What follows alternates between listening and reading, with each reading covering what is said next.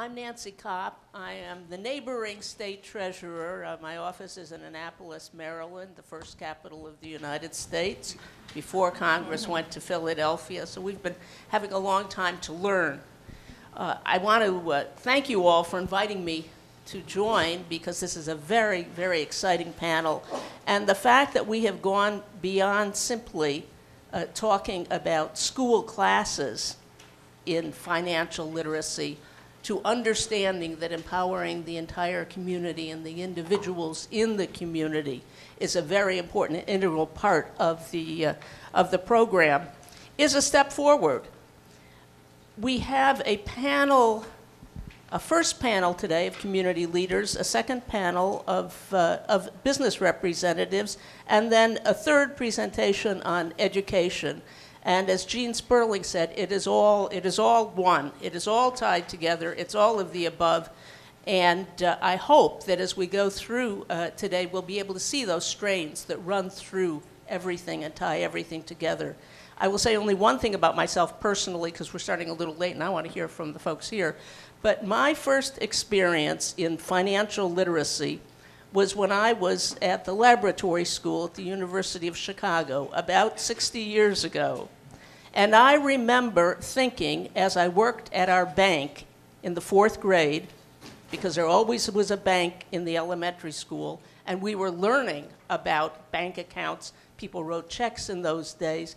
I remember standing there and thinking how wonderful it was that the kids from the second grade could start learning along with us, the older kids. So this is not a new issue, but never has it been, I think, as critical as it is now, at least in the last 70 or 80 years uh, in America. I, uh, I think you all know the members of the panel, but let me just introduce them very briefly and maybe we'll go one by one, and then maybe we could have a, a minute to, uh, to talk amongst ourselves. Uh, Tanya Fiddler is a leader in the Native Community Development Financial Institution and the executive, executive director of, uh, of the four bands.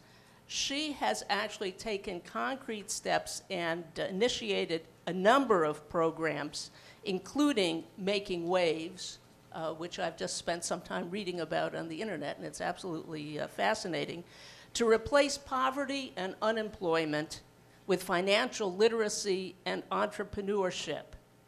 And I was very pleased that, that Gene Sperling and John Rogers all pointed out we need both things. We need literate individuals and communities with clear and easily accessible information.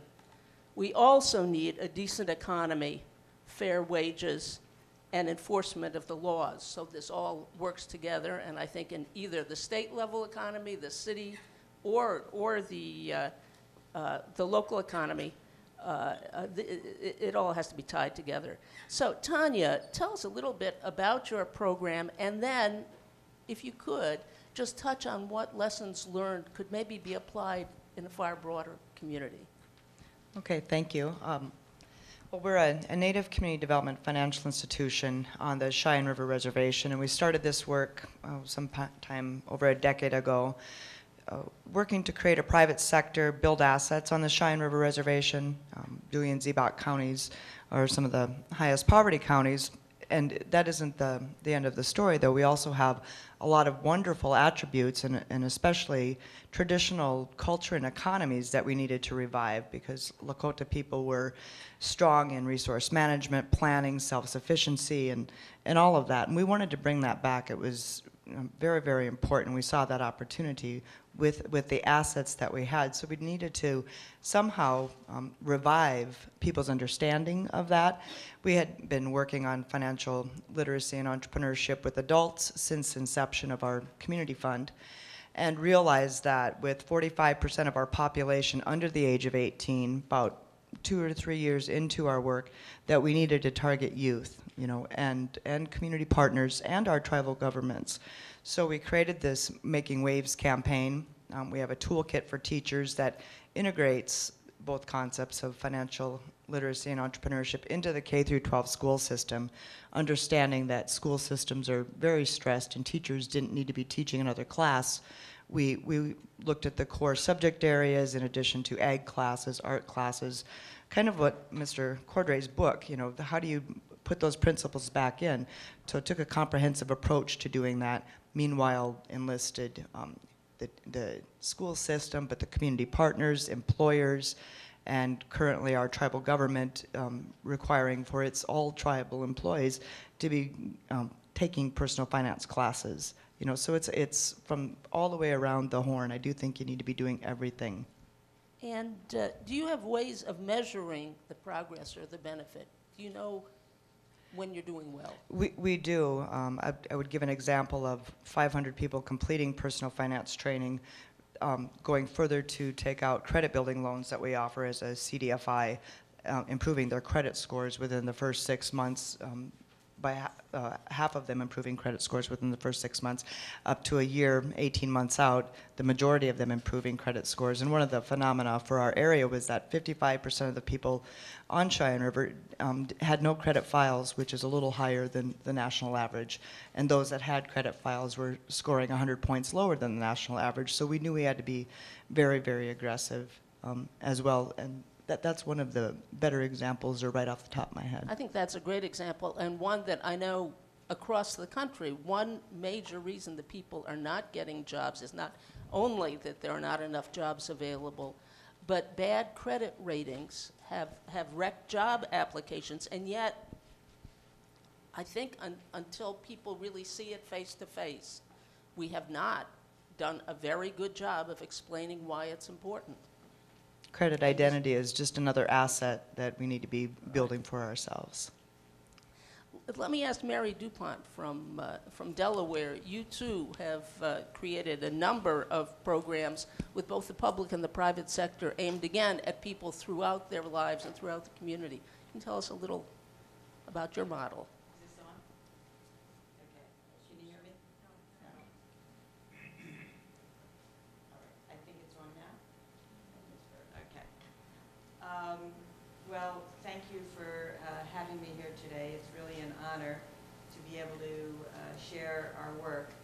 Um, I'm working with the state of Delaware, and um, when our governor was elected in 2008, Jack Former State Treasurer Jack Markell?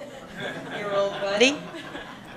State treasurers definitely uh, have a big role and a big stake in this work, um, as Jose will tell us. He's not a state treasurer, but uh, city treasurer. And um, he led the charge in the state of Delaware around this issue of financial literacy and financial capability. And when he was elected governor, um, at the time, I was in the nonprofit sector, and there's so many amazing people here in this room who have inspired the work that we're doing now in Delaware. And among them is Cathie Mahon with the New York City Office of Financial Empowerment, because what we started to see is that there is a role for government to play in bringing people to the table and in promoting awareness and in integrating the whole issue of financial empowerment into all of what we do. And it seems like everyone's been saying the same thing in all the comments here, but through in education, uh, in the workplace, uh, in government. Um, in government, we're working with so many people and we're affecting so many lives every day. And um, so Mike Bloomberg, I think, was kind of a champion in this work. And he definitely inspired um, Jack Markell, who was already there.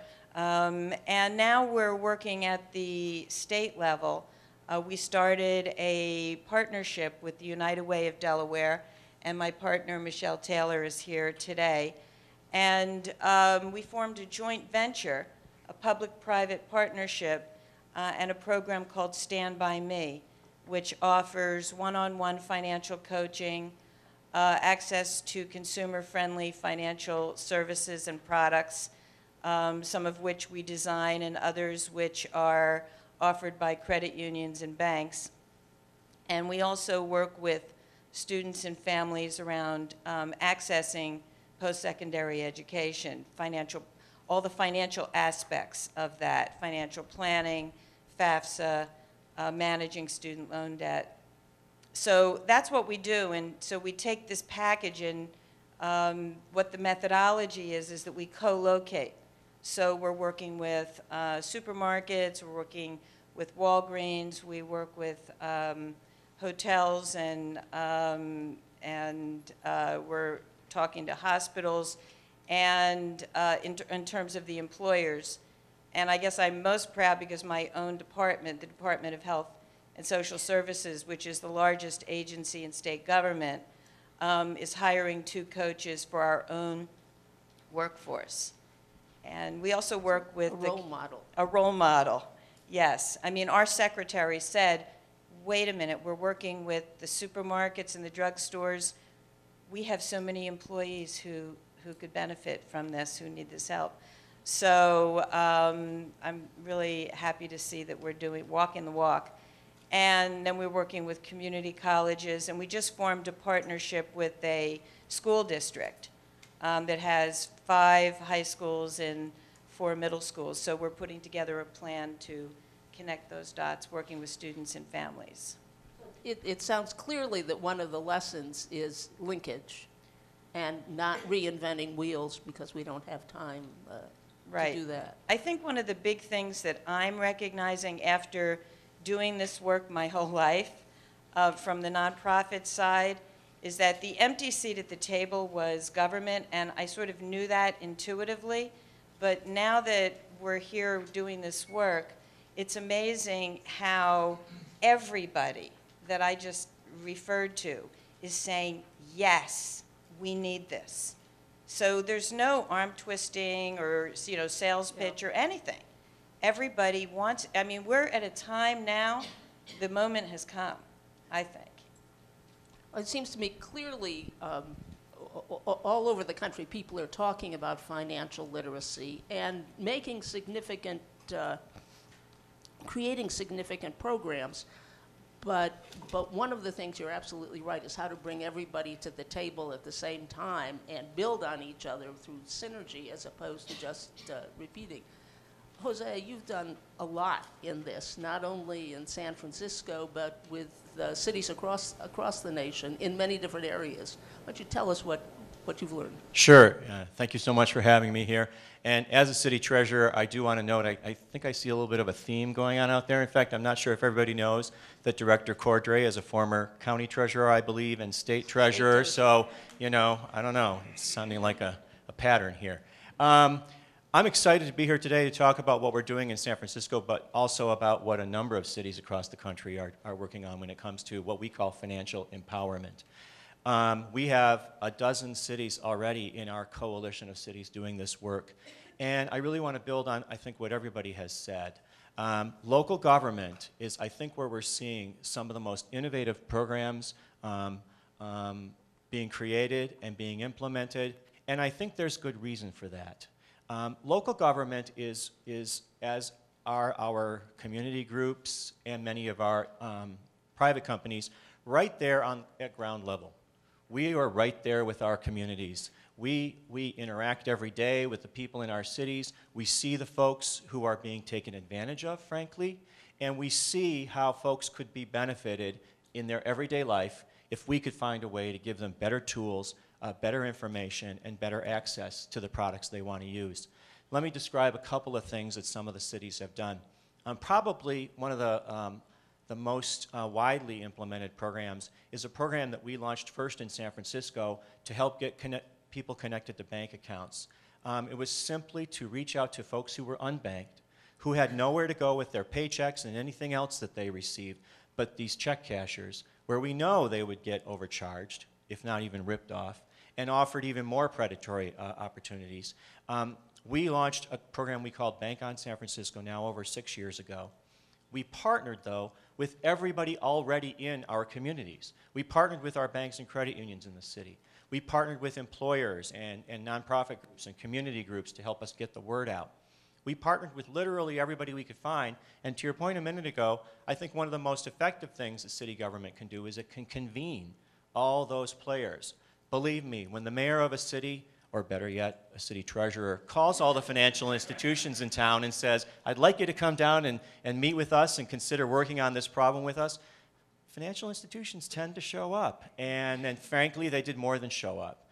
They, they um, participated, they even changed some of their product offerings, uh, they did a lot of outreach, they educated their own staff. And what we saw in San Francisco was that each year, those banks and credit unions we worked with reported opening over 10,000 accounts each year for folks who had previously been unbanked. That's an exciting result for San Francisco. But today, over 100 cities across the country are now, have either launched their own bank on program or are in the process of doing that. It wasn't an expensive program to launch. It wasn't um, a, a, a, incredibly difficult program to launch if we got the partnerships right. And it's clearly made a lot of impact in our community. Across our dozen cities in our coalition, we're seeing a variety of different programs, again, reaching out at all age levels, many of them to youth, across all, uh, all sorts of goals, um, both financial access, like getting people connected to bank accounts, um, as well as um, financial asset building, savings, saving for the future, learning the power of savings, realizing goals, and, and making the most of our money. I think that's what's important, and cities are in a unique place uh, to be able to do that.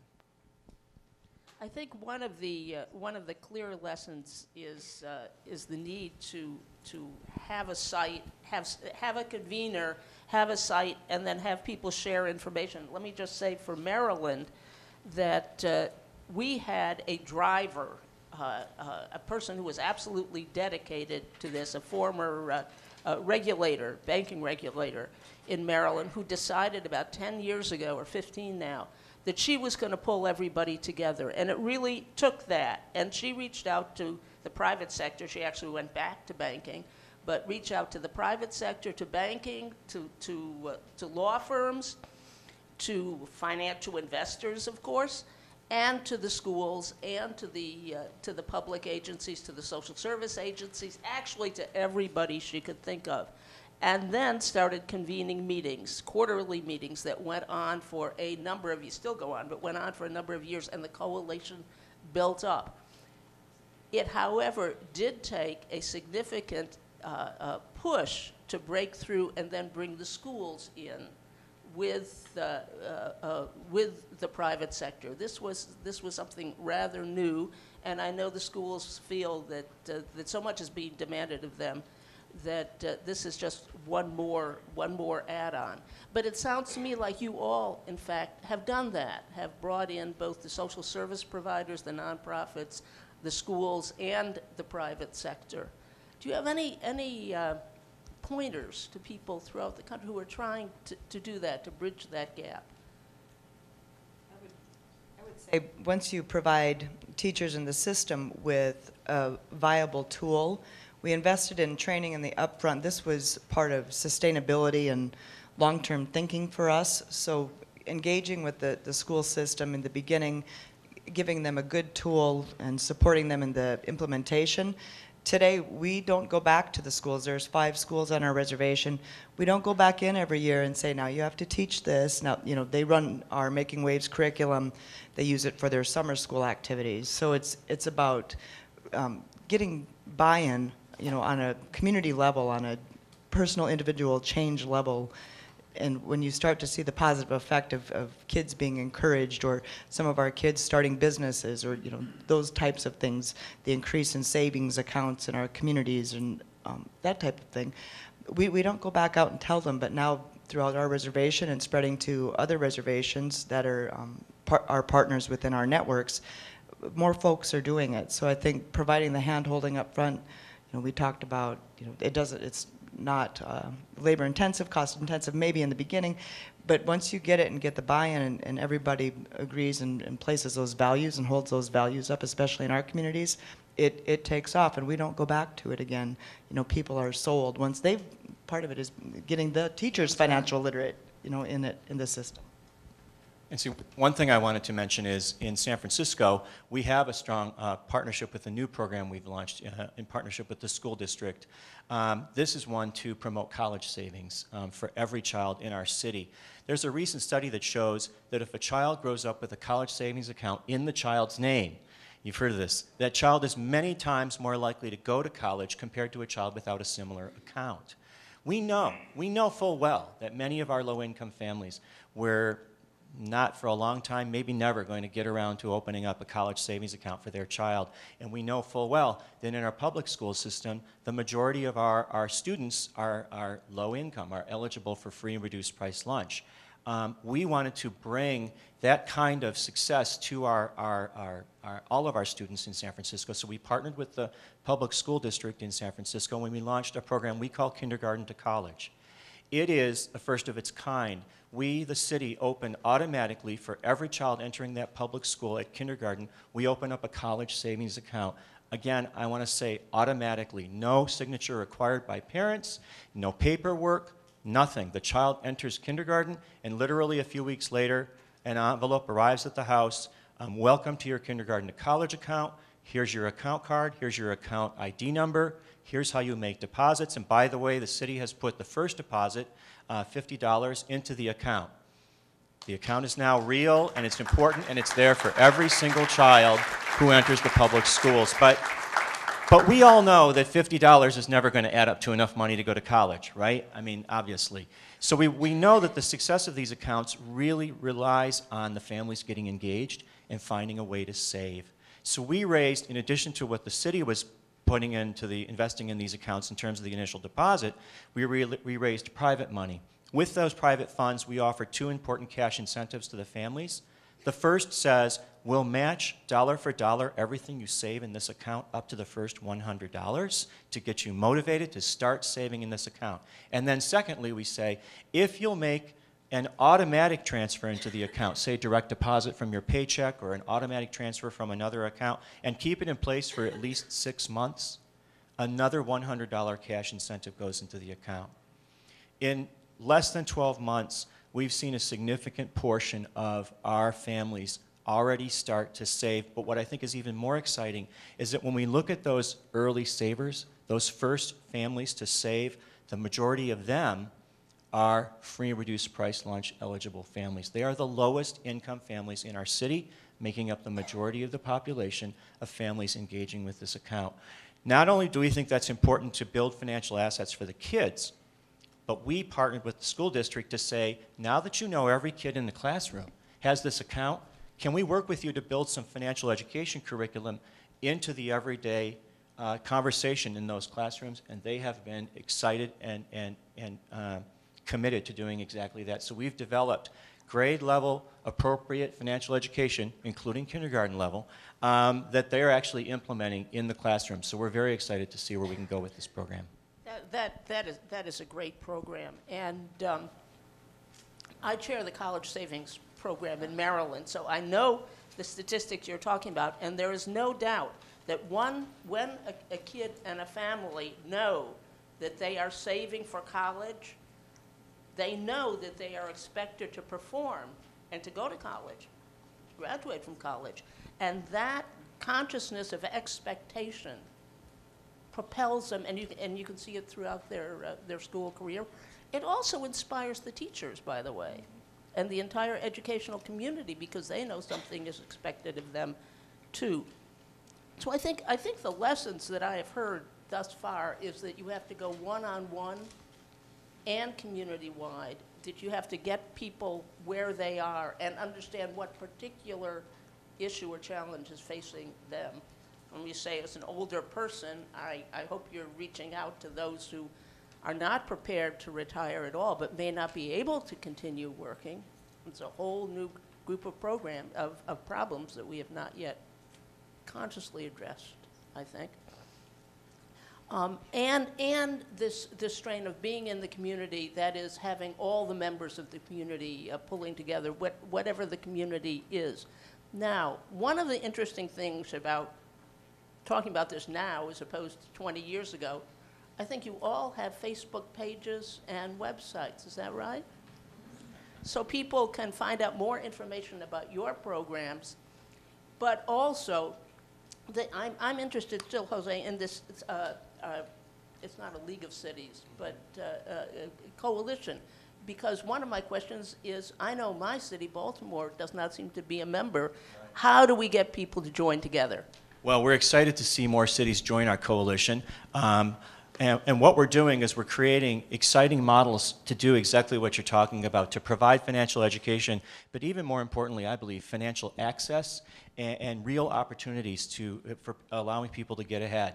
Um, uh, it's, it's, it's great, it's, it's so on point that you brought up um, the internet and, and online presence. Um, actually, our colleagues in New York uh, championed an effort around uh, financial education um, opportunities where they and now a number of other cities, ours, ours included, have launched websites where we actually put together all the resources around financial education in our cities and make them available to our folks through uh, one unified uh, resource, namely these, these websites. We also do some interesting um, events throughout the year to kind of publicize this, this new resource. Um, again, following New York's great lead, um, we did a phone-a-thon uh, last year to have people call in and ask financial advice, get, get financial advice for free.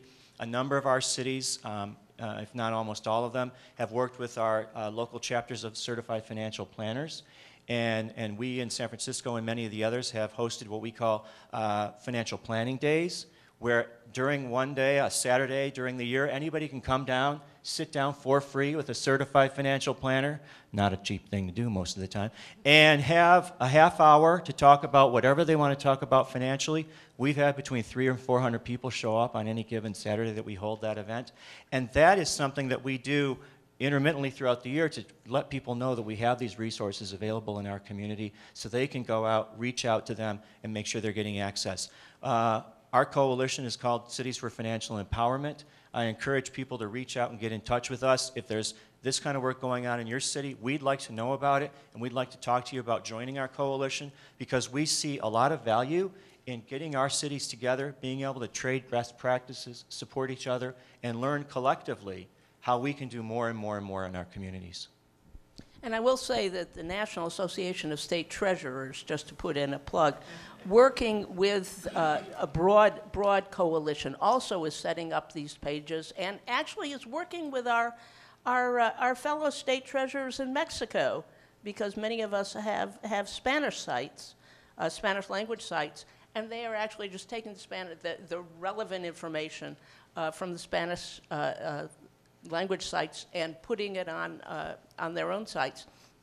It's the question of the coalitions growing and growing. And I think this event and, and John Rogers and your work and, and your colleagues to be a point, uh, a point for uh, gathering information and bringing people together and, and being able to help people who want to link hands but don't know how to reach across and, uh, and, and, and join together. It's a wonderful opportunity.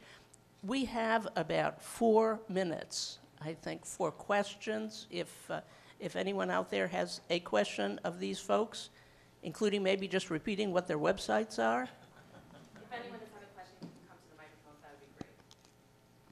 And if not, if any of you have questions of each other, this is a, a great opportunity.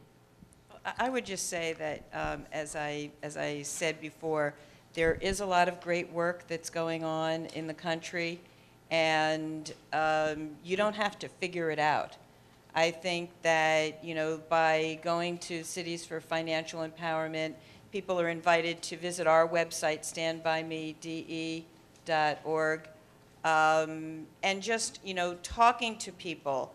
Uh, I think you can really get a lot of ideas and a lot of um, inspiration.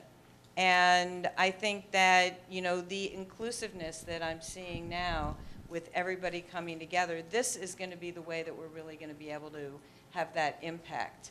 And we're just a year old, but, you know, we've already served over a thousand people in Delaware um, through our partnerships that, that I talked about. And, and I think that, you know, we need to really weave these concepts into the fabric of what we all do every day. So um, I guess that, those. And- And just one step more broadly, I think it is fair to point out that an, an enlightened and empowered consumer makes for a better market. Absolutely. Uh, And maybe what we need is not just government and looking at, at uh, at, at whether uh, regulations are being observed or laws are being followed, but the consumers to know what they are entitled to expect and then to demand. A plug. I'm Marianne Campbell from the Family and Consumer Science Department of the University of Central Arkansas. And I'm very impressed, Jose, with what you're doing with the kindergarten to college. It's just so exciting. I have a question about, because we've done some things where we put money into accounts and so. How do you keep people from pulling it back out? And what is your ratio? What, what's going on there? Excellent question. That was, a, a, of course, a concern for us to make sure that, that, that this money would be used for its intended purpose, right? That, that kids would be able to have, be, assured the money is there to go to college. Um, the way we've structured this work, and I have to acknowledge the great partner um, we have in Citi, Citibank, who's uh, our account holder in this program, is we actually open up what's called a custodial account in the name of the city and county of San Francisco. And all the, the children's um, kindergarten to college accounts are actually technically sub-accounts to the custodial account. What, what results with that is then that once the money goes in, it cannot be withdrawn without the approval of the city being the, uh, the custodial account holder. So our, our message very clearly to all of the, the families is this is strictly a one-way account until your child goes to college. The monies go in, they stay there. Um, we'll provide matches, we'll provide opportunities, we're going to provide financial education, but that money is intended to stay there until your child needs it to go to college, and it is absolutely safe. Very, very, very good and pointed question. And with that, I want to thank you all very much. It's been a wonderful education for me. I feel, feel much more literate now than I was. And Raquel, back over to you. Thank you.